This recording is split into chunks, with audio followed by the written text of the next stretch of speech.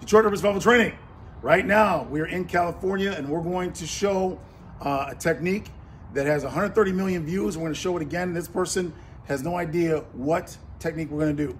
Is that correct? You have no idea? I have no idea. Okay, this is a real Glock. We're going to cock it. Mm-hmm. Okay, fire it at the ground, please.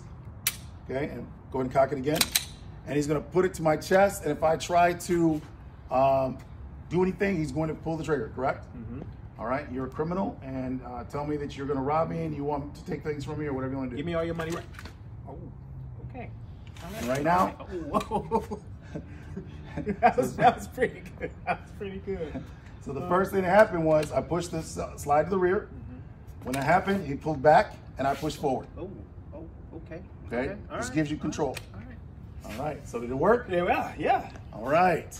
Intelligent options increase survivability.